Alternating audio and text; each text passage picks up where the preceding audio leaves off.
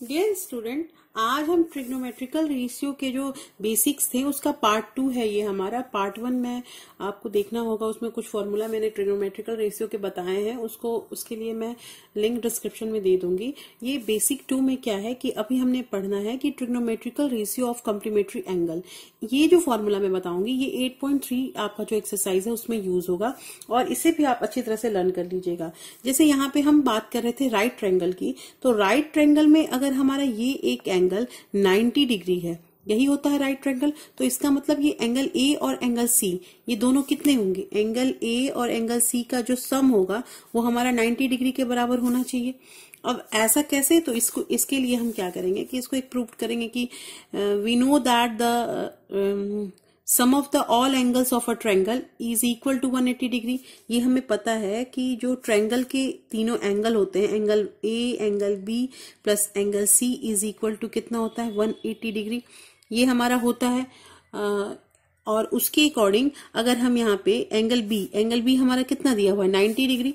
तो अगर हम ये angle A plus angle C और यहाँ पे हम इधर इस साइड 180 माइनस एंगल बी कर देते हैं, और एंगल बी का हमारा वैल्यू कितना है? 90 डिग्री।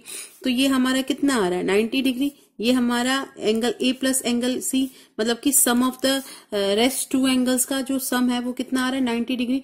और 90 डिग्री ही होता है हमारा कंप्लीमेंट्री एंगल तो इसके अकॉर्डिंग हमें कुछ फॉर्मूला याद करने हैं। वो फॉर्मूला क्या है कि अब हम यहाँ पे साइन और कॉस का रिलेशन करेंगे।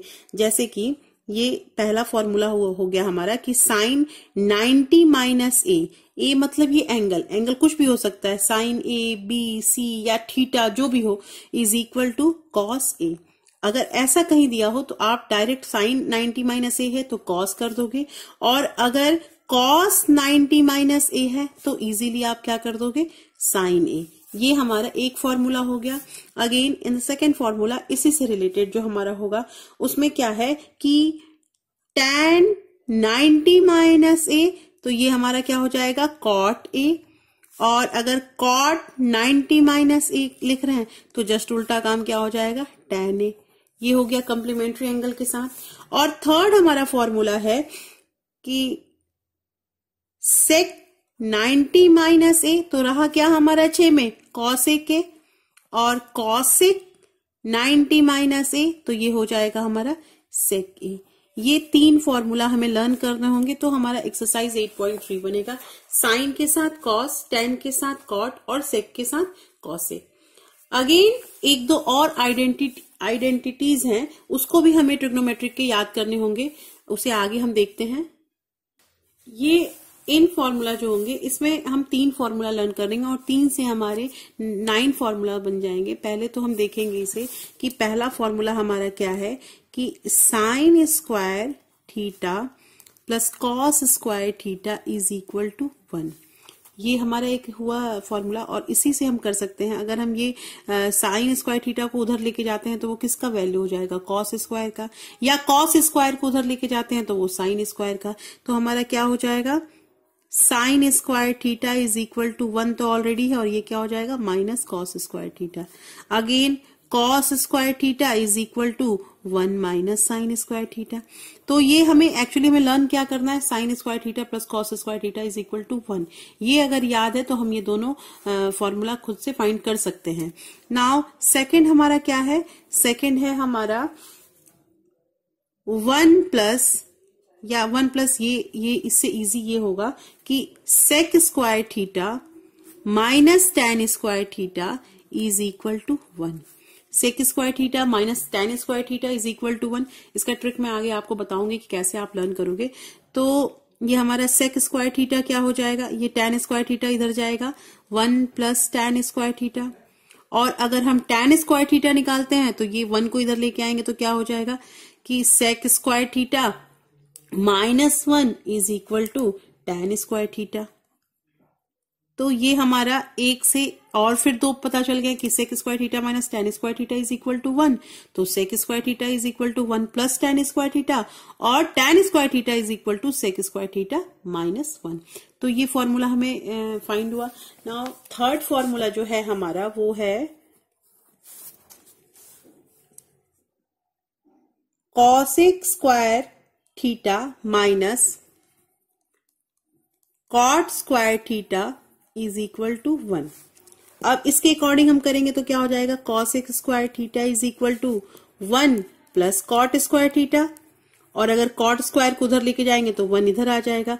तो therefore cosec square theta minus one is equal to cot square theta. ये हमारा एक से और दो आ गया।